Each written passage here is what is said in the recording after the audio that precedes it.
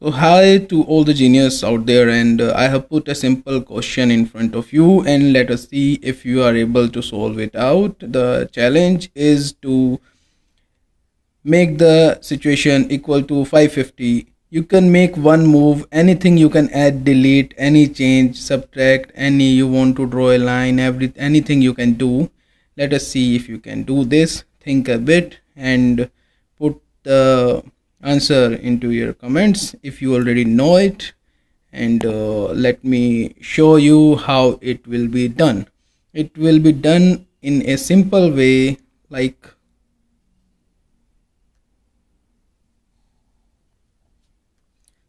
see how the things have changed. So things are not so complex as we see them. They are very simple. Just we need the perspective to see it in a right way Thanks for watching.